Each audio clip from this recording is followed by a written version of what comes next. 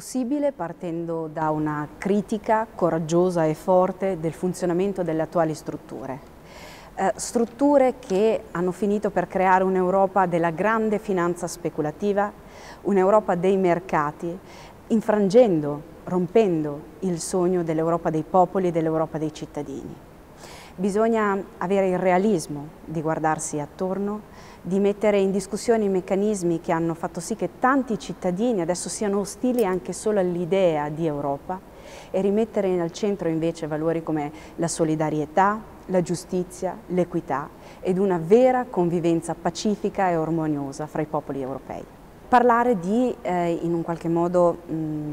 ideologia o colore politico in Europa eh, fa parte della storia d'Europa, del come è nata l'idea stessa dell'Europa, quindi è chiaro eh, che quando si parla di Europa si parla inevitabilmente anche dei diversi approcci, delle diverse idee che si confrontano in questo panorama.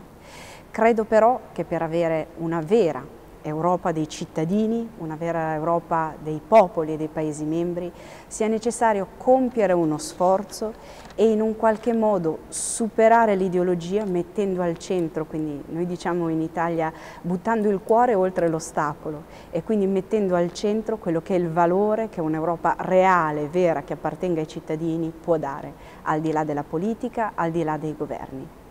È necessario riformare profondamente questa Europa, è necessario dotarla di strutture che mettano al centro la necessità di una piena occupazione, di una solidarietà sociale